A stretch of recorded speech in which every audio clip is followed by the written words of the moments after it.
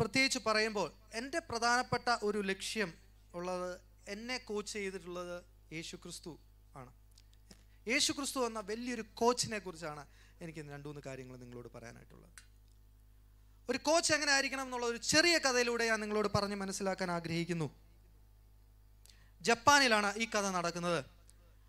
ജപ്പാനിൽ martial arts ഉണ്ട് martial arts നന്നായി ആയോധന കലകളിലൊക്കെ അവരുള്ള മാർഷൽ ആർട്സിൽ ഒരു കൈ മാത്രമുള്ള ഒരു കുട്ടി ഒരു കോച്ചിന്റെ അടുത്ത് വരികയാണ്. എന്നിട്ട് പറയാണ് സാറേ എനിക്ക് എനിക്ക് മാർഷൽ ആർട്സ് പഠിപ്പിക്കണം. പഠിക്കണം. അപ്പോൾ ആ കുട്ടിയോട് ഈ അധ്യാപകൻ പറയാണ് ഒരു കാരണവശാലും മോനെ ഇത് നടക്കില്ല. നിനക്ക് ഒരു കൈയല്ലേ ഉള്ളൂ. വളരെ ദുഃഖത്തോടുകൂടി ഈ ഇദ്ദേഹം തിരിച്ചു പോവുകയും വീണ്ടും വീണ്ടും ആവർത്തിച്ച് ആവർത്തിച്ച് ഇത് പഠിക്കണമെന്നുള്ള വലിയ ആശയത്തോടു കൂടി ഇദ്ദേഹത്തെ സമീപിച്ചു കഴിഞ്ഞപ്പോൾ കോച്ച് പറഞ്ഞു ഓക്കെ ഞാൻ നിങ്ങളെ പഠിപ്പിക്കാം. അങ്ങനെ പഠിപ്പിച്ചു. ഏകദേശം ഒരു വർഷം കഴിഞ്ഞപ്പോഴും ഈ കുട്ടിക്ക് ദുഃഖമായി. കാരണം ഒരൊറ്റ സ്റ്റെപ്പ് മാത്രമാണ് ഈ കുട്ടിയെ പഠിപ്പിച്ചത്. ഒരൊറ്റ സ്റ്റെപ്പ് മാത്രം. പലപ്പോഴും അവൻ മാറി എന്ന് വിതുമ്പി കരയാൻ തുടങ്ങി. എനിക്ക് ഒരു കൈ ഉള്ളതുകൊണ്ട് മാത്രമാണോ കോച്ച് എന്നെ ഒരു സ്റ്റെപ്പ് മാത്രം പഠിപ്പിക്കുന്നത്? ഒറ്റ സ്റ്റെപ്പ് മാത്രമേ പഠിപ്പിച്ചുള്ളൂ. പക്ഷെ ആ സമയത്തൊക്കെ കോച്ച് മൗനം പാലിച്ചു അവന്റെ ചോദ്യങ്ങൾക്കൊക്കെ മറു മൗനം പാലിച്ചു. യഥാർത്ഥ ഒരു കോമ്പറ്റീഷൻ വരികയാണ്. കോമ്പറ്റീഷൻ വന്ന സമയത്ത് രണ്ട് കൈയുള്ള വ്യക്തികളുമായിട്ടാണ് ഇദ്ദേഹത്തിന് മത്സരിക്കേണ്ടത്. കോമ്പറ്റീഷൻ അരീനിലേക്ക് ഇവനെ വിളിക്കുകയാണ്. കോച്ച് മാറി നിൽക്കുന്നു ഈ ഇദ്ദേഹം ഇദ്ദേഹത്തെ വാച്ച് ചെയ്യാനായിട്ട്. ഈ കുട്ടിയുടെ മനസ്സിൽ എപ്പോഴും ഒരു ഒരു ആകുലതയുണ്ട്. ഒറ്റ സ്റ്റെപ്പ് പഠിച്ചവൻ എങ്ങനെ ഇത്രയും നൂറുകണക്കിന് സ്റ്റെപ്പ് പഠിച്ചിട്ട് ചുവടുകൾ പഠി പഠിച്ചിട്ടുള്ള ഒരു വ്യക്തിയുമായി പോരാടും. നിങ്ങൾ മനസ്സിലാക്കേണ്ട ഒരു കാര്യം.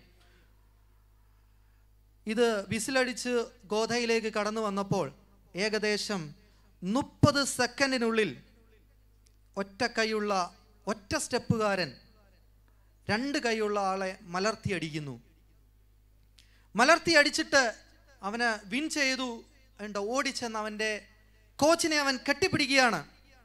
കെട്ടിപ്പിടിച്ചു. എന്നിട്ട് കരഞ്ഞു. എന്നിട്ട് കോച്ചിനോട് പറയുകയാണ് ഇപ്പോൾ മനസ്സിലായി. എനിക്ക് ഒറ്റ സ്റ്റെപ്പ് മാത്രം പറഞ്ഞു തന്നെ എന്തിനാണ് കാരണം ആ സ്റ്റെപ്പിനെ പ്രതിരോധിക്കണമെങ്കിൽ അദ്ദേഹത്തിന്റെ വലത്ത് കൈ പിടിച്ചു വേണം പ്രതിരോധിക്കാൻ. ആ വലത്ത് കൈ ആയിരുന്നു ഈ കുട്ടിക്ക് ഇല്ലാതിരുന്നത്. അപ്പം യഥാർത്ഥ നമ്മുടെ ലിമിറ്റേഷൻസിനെ കണ്ടെത്തി. നമ്മളെ വളർത്തി ഏറ്റവും ശക്തിമത്താക്കാൻ തക്കോണം ജീസസ് ക്രൈസ് എന്ന കോച്ചിന് പറ്റും എന്നുള്ളതിനെ കുറിച്ചാണ് ഞാൻ നിങ്ങളോട് പറയുന്നത്. ഞാൻ രണ്ട് മൂന്ന് രഹസ്യങ്ങൾ നിങ്ങളോട് പറയാൻ ആഗ്രഹിക്കുന്നു. ഒന്ന് don't be a owner of your body നിങ്ങളുടെ ശരീരത്തിന്റെ owner നിങ്ങളാവരുത്. Don't be a owner of your body വചനം ഞാൻ പറയാം. റെഡിയാണല്ലോ അല്ലേ? വായിക്കാനായിട്ട്. Okay good but you should be a ruler of your body ownership എന്ന് പറഞ്ഞാൽ വസ്തുവിന്റെയൊക്കെ ഓണർഷിപ്പ് നിങ്ങൾക്ക് അറിയാമല്ലോ ഓണർഷിപ്പ് ഒരു കാരണവശാലും നമ്മുടെ ബോഡിയുടെ ഓണർഷിപ്പ് നമുക്കെടുക്കാൻ പാടുള്ളതല്ല. പക്ഷേ നമുക്ക് എന്നാ ചെയ്യാം. വി ക്യാൻ റൂൾ റൂൾ ചെയ്യാനായിട്ട് പറ്റും. അതിനെ ഭരിക്കാനായിട്ട് പറ്റും. നോക്കിയേ ഏതനിൽ? നടന്ന സംഭവം ഏതൻ തോട്ടം നട്ടുണ്ടാക്കി. ആദമിനെ ദൈവം ഓണർഷിപ്പ് അല്ല കൊടുത്തത്. റൂളർഷിപ്പാണ് കൊടുത്തത്. റൂളർഷിപ്പ് കൊടുത്തിട്ട് പറഞ്ഞു നീ ഇതിനെല്ലാം നട്ടു നനയ്ക്കാനായിട്ട് പക്ഷേ വേറെ അധികാരങ്ങളൊന്നും കൊടുത്തില്ല. ചെയ്യല്ലെന്ന് പറയുന്ന കാര്യങ്ങൾ ചെയ്തു. ആദം ആദമിന് നഷ്ടങ്ങളുണ്ടായി. ഇനി ശ്രദ്ധിക്കാം വചനം ഈ ഈ ഒരു ഈ ഒരു ഈ ഒരു ഓണർഷിപ്പിനെ കുറിച്ച് എന്താ പറയുന്നതെന്നുള്ളതിനെ കുറിച്ച് നമുക്ക് പറയാം. ഒന്ന് കോരിയന്തർ ആറിന്റെ പത്തൊമ്പതും ഇരുപതും വായിക്കാം.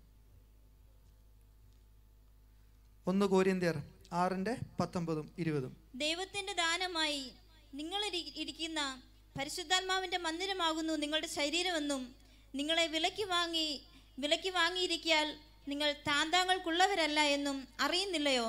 ആകയാൽ നിങ്ങളുടെ ശരീരം കൊണ്ട് ദൈവത്തെ മഹത്വപ്പെടുത്തുകയും ഓക്കെ ശരീരം കൊണ്ട് ദൈവത്തെ മഹത്വപ്പെടുത്താൻ പറയുന്നു. ഇതിന്റെ അത് പറയുന്നത് നമ്മൾ ആദമിൽ നിന്ന് പാപം ചെയ്ത് ക്രിസ്തുവിലേക്ക് വന്നപ്പോൾ നിത്യ നരകത്തിലേക്ക് പോകാനായിട്ട് നമുക്കുള്ള സാധ്യത കൂടി വന്നു.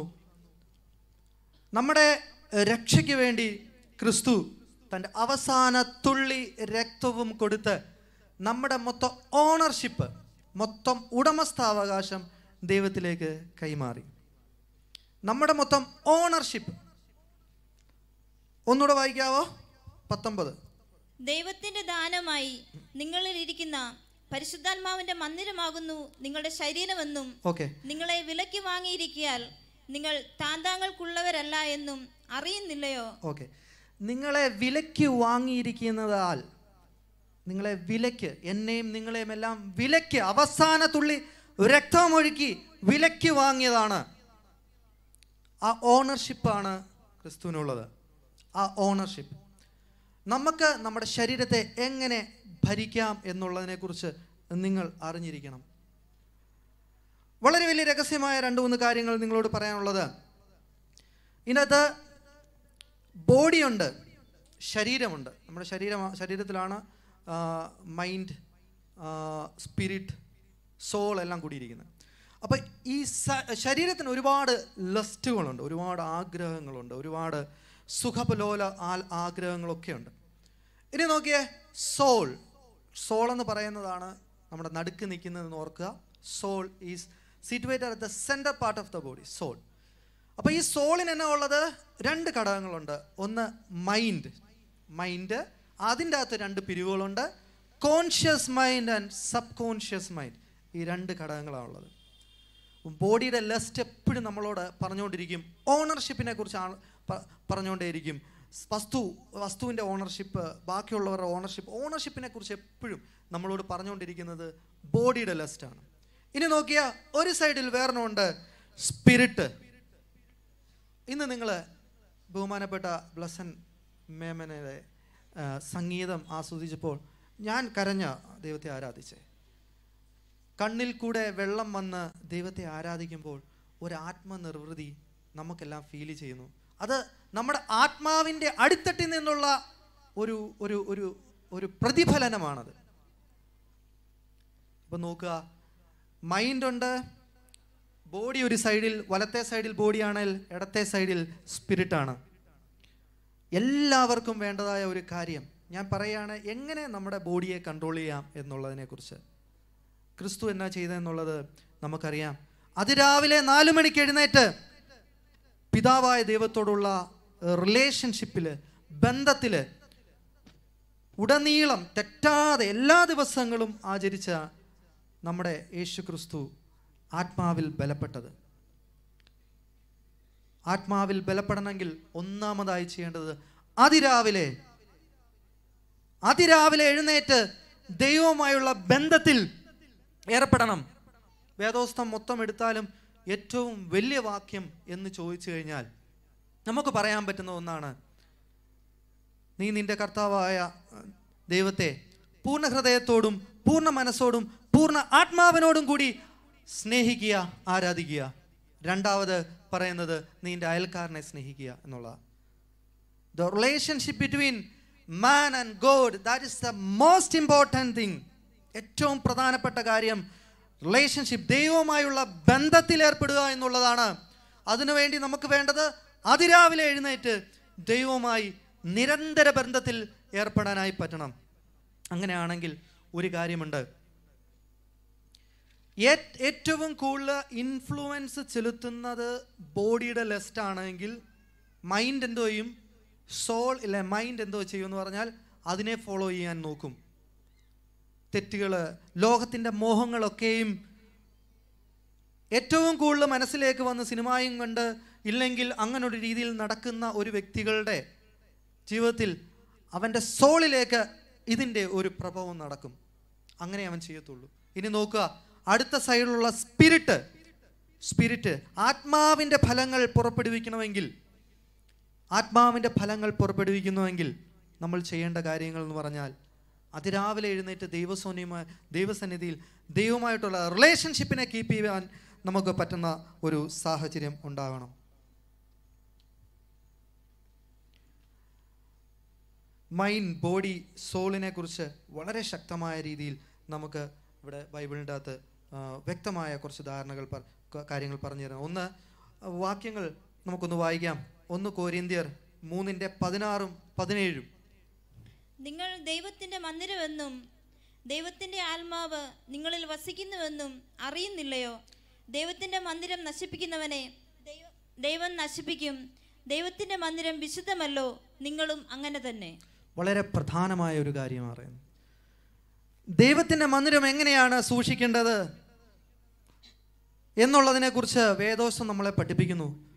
ഏറ്റവും മനോഹരമായി ഏറ്റവും വിശുദ്ധമായി ഏറ്റവും ശക്തമത്തായി ശ്രേഷ്ഠമായി ഒരു ദൈവത്തിന്റെ മന്ദിരം സൂക്ഷിക്കുന്ന അതേപോലെ തന്നെ എല്ലാവർക്കും നമുക്കെല്ലാവർക്കും കടമയുണ്ട് നമ്മുടെ ബോഡിയെ സൂക്ഷിക്കാനായിട്ടുള്ളത്. നമ്മുടെ ബോഡിയെ സൂക്ഷിക്കാനുള്ളത് ഏറ്റവും വലിയ കടം കടമയാണ്. രണ്ടാമതായി ദൈവം അവിടെ പറയുന്ന ഒരു കാര്യം എന്റെ ആലയത്തെ നശിപ്പിക്കുന്നവനെ ഞാനും നശിപ്പിക്കും. എന്റെ ആലയത്തെ എങ്ങനെയാണ് നശിപ്പിക്കുന്നത്?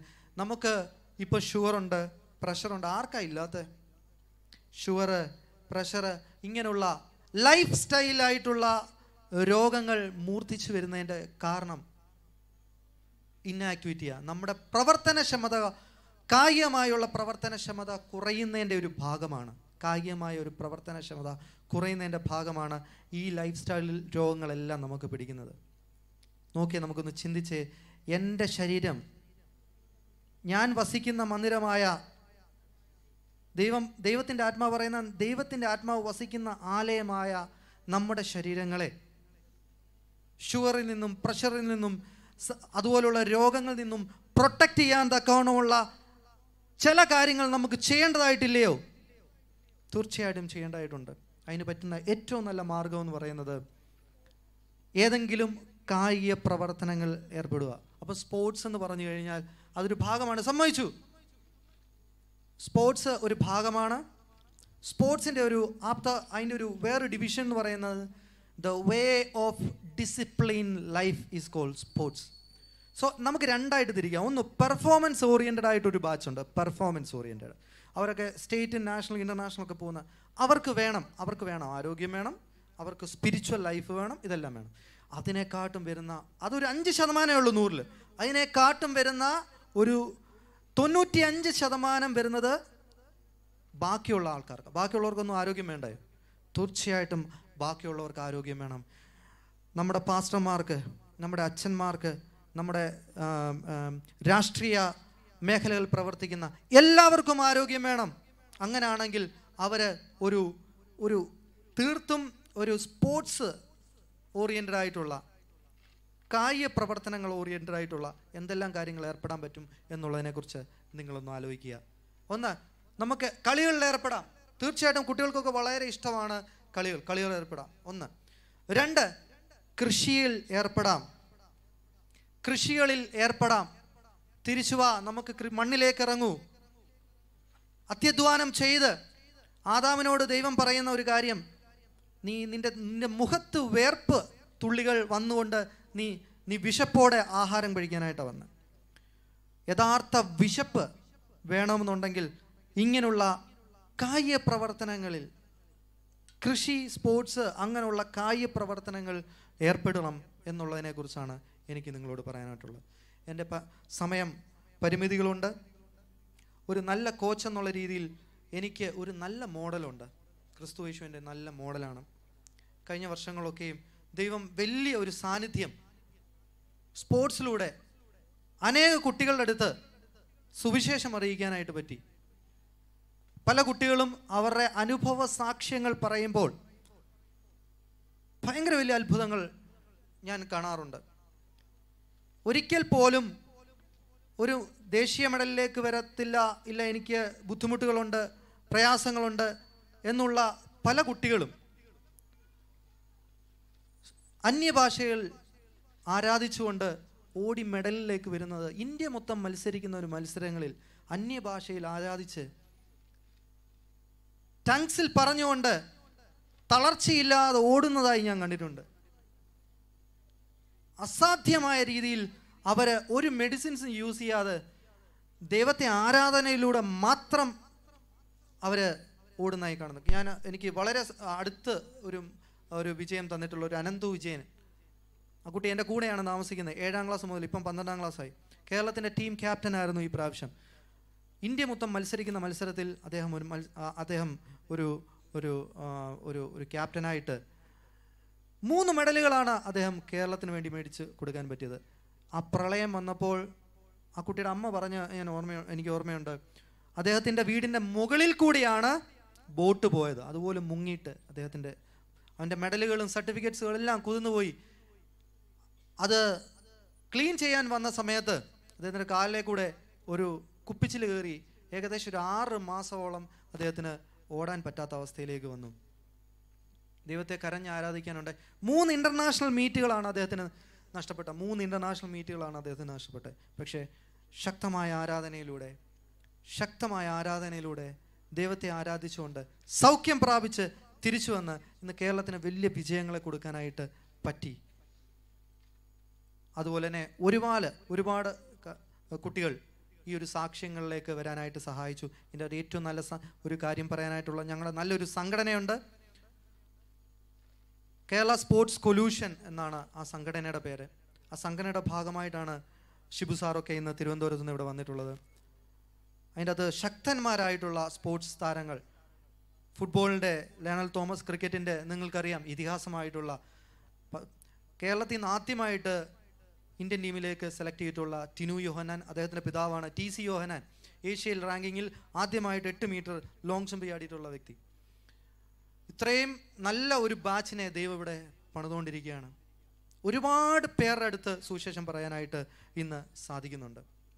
ഇന്ന് ഈ അവസരം തന്ന ഈ ഒരു യൂത്ത് വിങ്ങിന്റെ എല്ലാവിധമായിട്ടുള്ള അധികാരികളോടും ഒറ്റവാക്കി നന്ദി പറഞ്ഞുകൊണ്ട് ഞാൻ നിർത്തുന്നു. നന്ദി നമസ്കാരം. Thank